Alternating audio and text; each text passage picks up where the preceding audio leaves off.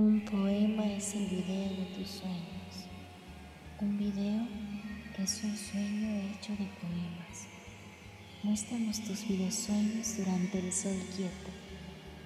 Te invitamos a crear un videopoema y proyectarlo este 20 de julio en el CCD, en el día del año donde el eje del mundo está más inclinado hacia la estrella de su órbita.